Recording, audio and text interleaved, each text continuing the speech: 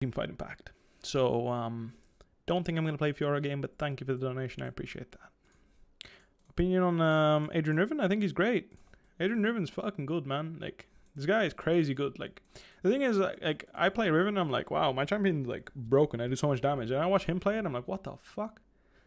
Like I just take a minute, you know. Like I actually have to like, you know, I, like I'm watching YouTube, and then I have to like back arrow a couple of times you'd be like, what the fuck was that sequence? You know, like what just happened on on my screen? Like what was the damage?